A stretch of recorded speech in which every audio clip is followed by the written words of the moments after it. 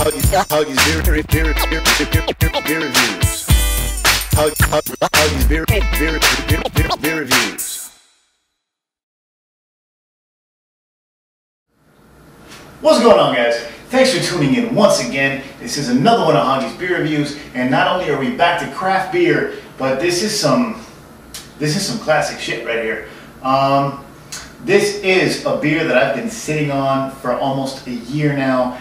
This is a beer that has basically been aging for over a year now. This is a beer um, that was a very big deal, still is, um, in the craft beer world, and this was a gift from my buddy Howard. Howie, my, my, my man from, from uh, Hurricane Wings in Vero Beach. Howie, last time I saw him, he hooked me up with a bunch of beers, and this was one of them. This is from Dogfish Head Brewery. This is the Miles Davis Bitches Brew, and this is from batch one. That's right, Miles Davis Bitches Brew.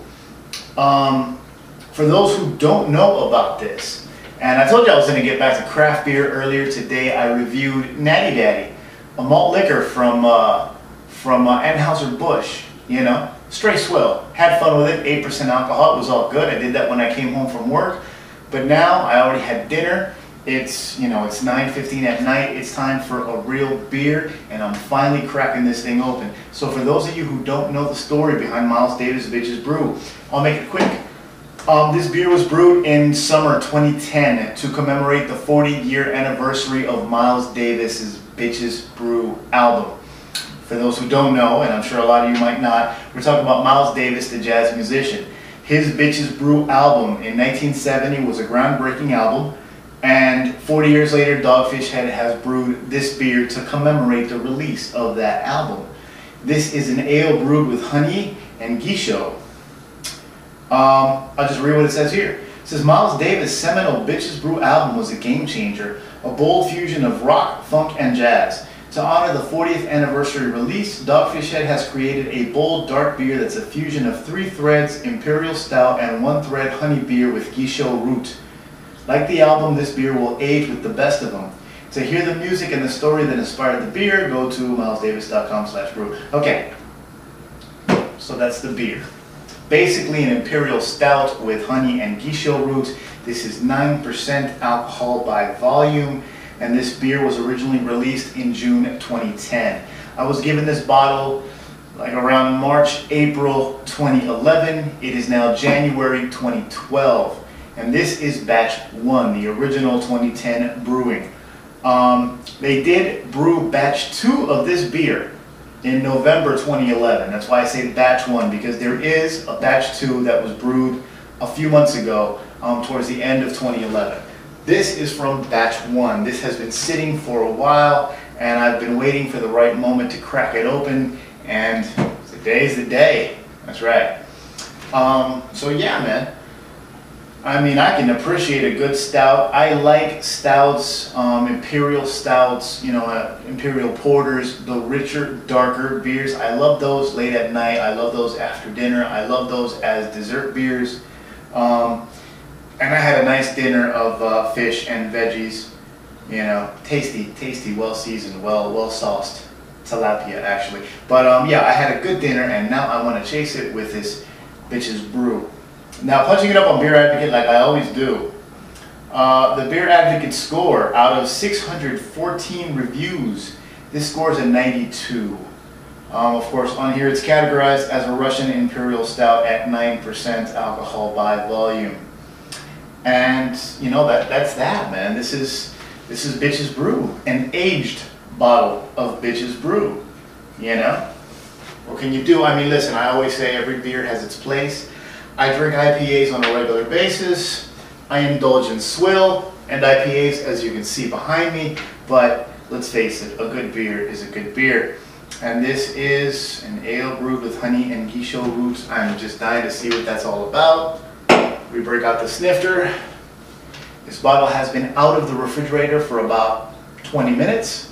It's warmed up, hopefully enough. And I want to save, oh, it's kind of scratched. Oh well, I'm still going to save the cap. I have a red one just like it on the, on the fridge already, but red dogfish head cap, I want to save that. So, of course, big lighter. Don't try this with a Zippo. And Off we go. It's time for Bitches Brew. That's right.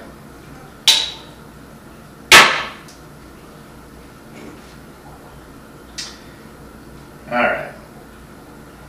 I'm just kind of excited, man. I've been looking forward to this for a long time. I do have to thank my buddy Howie because even though I love beers like this, I don't usually buy them myself. I'm he's more of a big beer guy than me. I'm one of, I'm a session beer guy. You know, if it's like a, a hoppy six pack, that's what I want to drink all the time.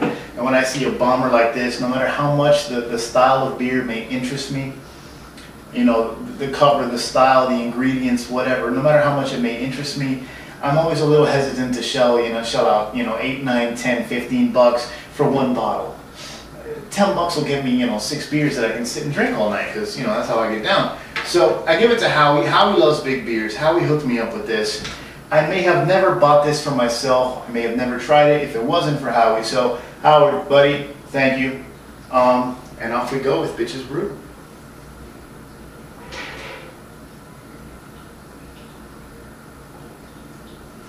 Smells like an Imperial Stout.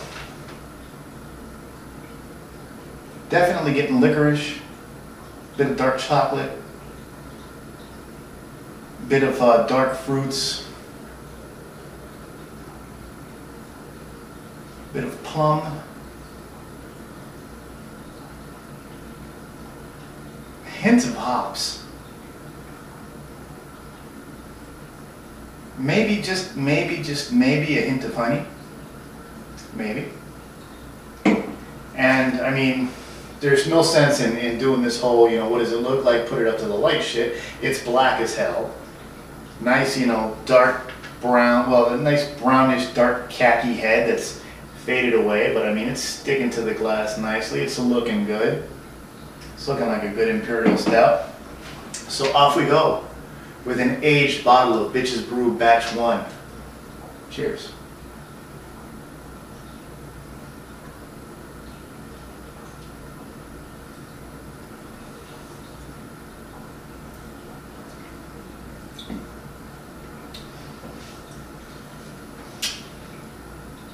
That is an impressive beer.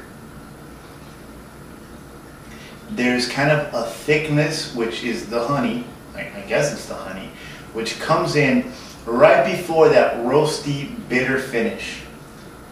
And it's like a, a syrupy sweetness that comes in right before the bitterness from the roasted malts that astringent bitterness, you know, from, from the roastiness and the hops. Right before all that at the end comes this syrupy honey. It's mild, but it's there and it's different and it adds an extra dimension to this beer.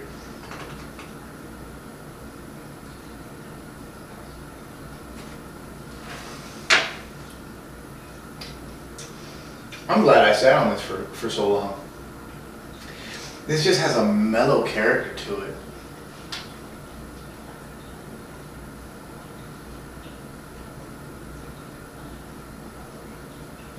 Get a small bite up front, and then you just get this rush of roasty flavors.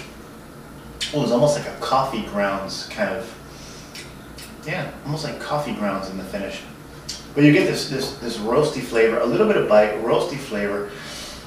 You get that dark chocolate, that dark fruit, that licorice across the middle. Then, like I said, here comes this syrupy sweetness, very quick, very mild, but it's there. And then the astringent, roasty, you know, roasty malt character, and then a mild hoppy finish. Just enough hops to kind of give you a bitter swallow. And that's it. I cannot detect alcohol whatsoever, and this is 9% alcohol by volume. Um, and I wish I could tell you, uh, you know, I was noticing the gesho root, but I have no idea what the hell that would taste like, so I'm not even going to lie to you. Um, but as an imperial stout with something extra, this is outstanding. This is outstanding. This is a glass full all the way. Um, and I think it would have been solid fresh and just even better aged, like this one is.